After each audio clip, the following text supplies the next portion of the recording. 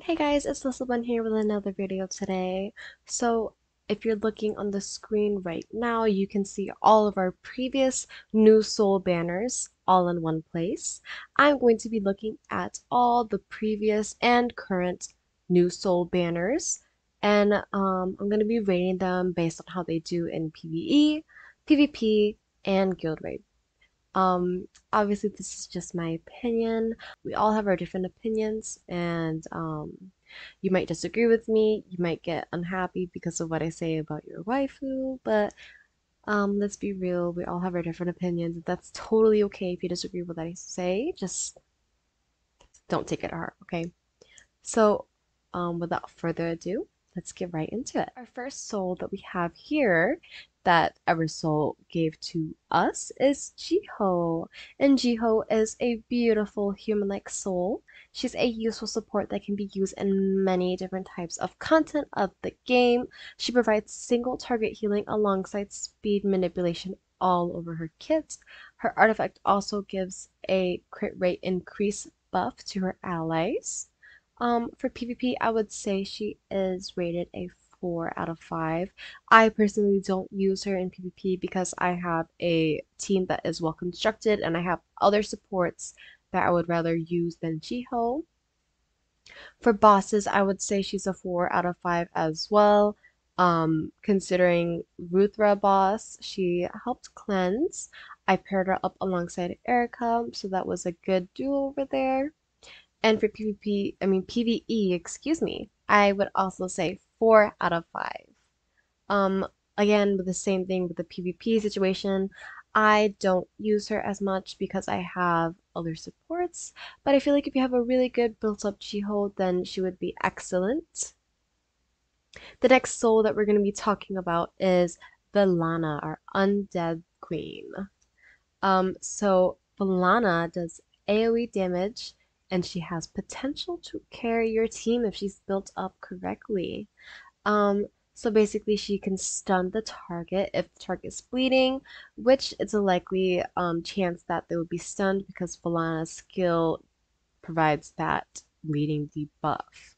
So in PvP, I would give her a 3 out of 5. I personally don't build up undead team, but I'm sure that if um, there are undead team lovers out there who built up really strong undead souls, then obviously this rating would be different.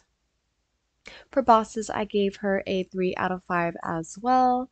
Um, I just don't really use her that much in any of my guild raid bosses, but I know there are some people who actually use Velanna in the Rudra um, guild raid last season because um, in order to get all your ults off, you need a stunner. Velanna can do that stunning so, um, but for me, I would give her a 3 out of 5. And for PvP, I mean PvE, why do I keep doing this? I rate her a 4 out of 5. I think she's really, really, really good early to mid game, but personally for me, um, um, I don't really know many people who use her late game. Pryden says that Velanna is good late game, but I don't know, that's just my opinion. Um, going on to our next soul, we have one of the most beloved and popular souls of ever Eversoul, Honglan, our beast girl.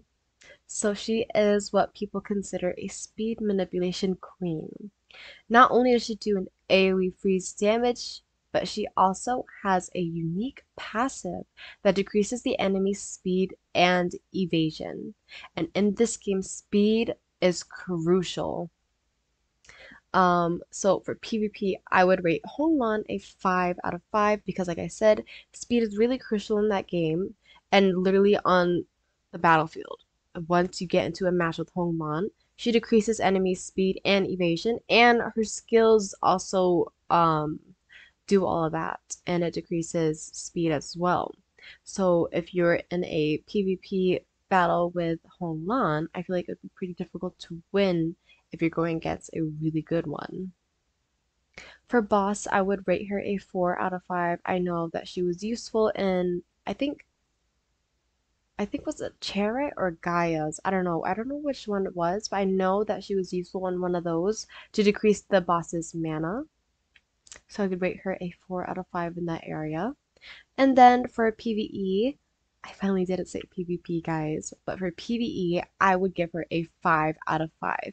Personally, I have not gone and summoned on Hong Lan's banner, but I know many people who have, including Stormy. And Stormy, he gave me his input on this, and he said how she is amazing in PvE and how he's still using her to this day. And honestly, it kind of makes me regret not going for her. Our next soul that we have after Hong Lan is Erika our cute little dainty fairy soul. Um, Erika, she provides a small, um, not small, but she provides a healing buff for a small area on the battlefield for your team. She also has a cleanse skill, like I mentioned previously when I was talking about Jiho. She has a cleanse skill and she also has a poison skill that can poison the backliner enemy. She also has a unique Eureka buff effect that pretty much involves RNG. So for PvP, I would rate her a 3 out of 5. Um, in the in the fairy types, I would say she is not the best support, but she's not the worst. I still think Talia Talia is still like better compared to Erika, but um, that's just my opinion, and I'm sure that's many other people's opinion. For PvP, I would say Erika is 3 out of 5. For bosses, I would say 4 out of 5. Um, Erika, there, she was really helpful with the cleansing in the Rudra boss last season, um, since we only have so many, um, a handful of cleansers. And for PvE, I would give Erica a 4 out of 5 as well. Now, going on to my favorite soul of all time, Aki. Um, in my opinion, Aki is hands down the best hyper carry in the whole entire game. Nobody can compare. Aki can easily wipe the whole backline with the main ult main combo. And the reason why that is, is because she has a two times damage multiplier of the skill every time she crits. Um, everyone knows, or if you don't know, I am a um, Aki stan. I love Aki. I only love Aki, and honestly, Aki is my most favorite soul in the game. Nobody compares to her, in my opinion, and um, yeah, that's just that. Um, if you are friends with me on Eversoul, you can see that my whole profile is Aki, Aki, Aki. Um, so I'm happy that I actually went for her because I'm sure those who didn't go for her are missing out. And I'm sure they're probably hoping for a rerun of Aki's Banner. And honestly, I feel like if they did, if Eversoul did that, then they would be making bank. But let's get into the ratings. Um, for PvP, Aki, 5 out of 5. For the guild raid bosses, I would say 5 out of 5. Although I know for Rudra, um, Aki was pretty much fucking useless because Rudra's passive it decreases the chance of the guild raid boss to get hit by a um, critical hit. And I know Aki's kit is all about that, but still just um, she's really good in the other two guild raid bosses, so that's why I'm putting it as a 5 out of 5. And for PvE, she is a 5 out of 5 as well. Aki is our first all 5 out of 5 across the board, in my opinion. She's the first soul. Um, ever since I pulled for Aki, she's been the best hybrid carry for me and everything. I don't like I literally have Aki in every single team comp of mine. I cannot do anything without Aki. She's the best. Now after Aki we have Lizelotte. And let me just tell you, Lizelotte, her nickname should be the Guild Raid Goddess. She guarantees a critical hit if there are no other enemies within the target, and she has insane single damage um, She's an insane single damage dealer. And she has a crazy passive where the more buff she has on her equals the more damage she does. And it stacks. Um, so let's get right into the ratings. For Lizelotte, I would say she is a 5 out of 5 in PvP. And Guild Raid bosses, obviously, hence the nickname. She is a 5 out of 5. And for PvE, I would also say she is a 5 out of 5.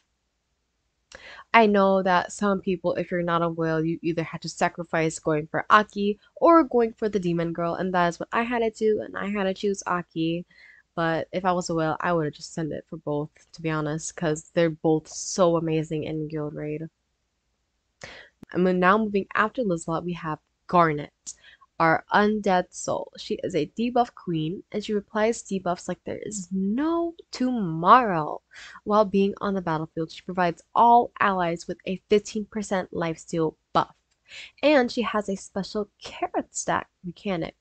For PvP, I would consider her being a 3 out of 5, but obviously, unless you are a whale and you have an 05 Garnet, really high level, really good artifacts, keepsakes, whatever, obviously it'll be different for you. I guess that's the same situation for every single one of these souls.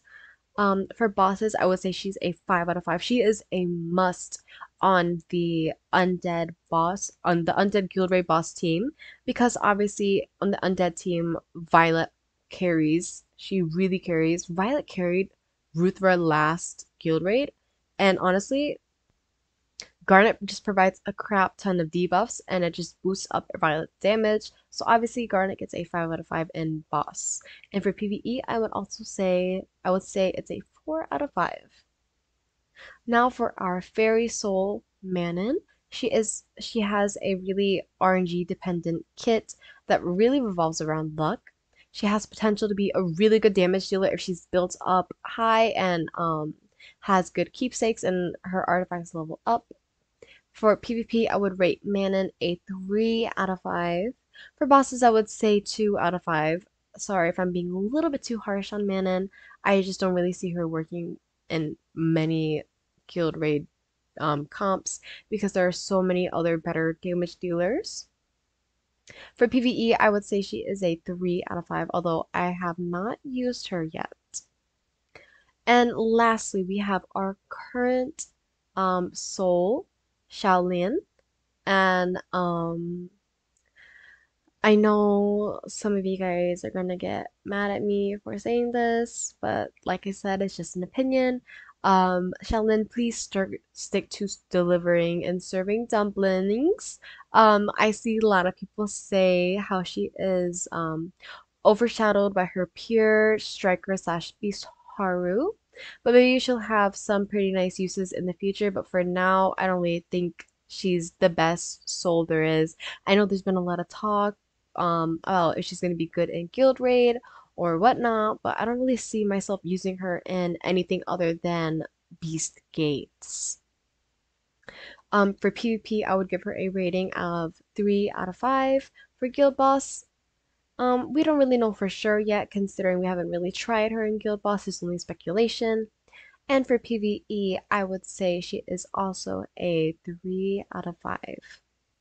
So there you have it, guys. That is me going through the past and current raid up banners for the new souls of Eversoul. Um, thank you so much for watching, guys.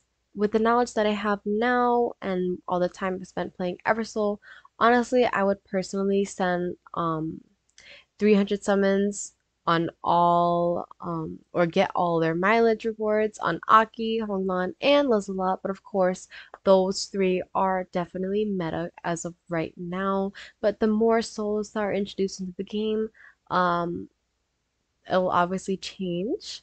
But thank you for watching once again. Let me know your opinions in the comments down below if you think if you disagree with something I said or if you agree with something I said. And I'll see you guys in the next video. Bye bye.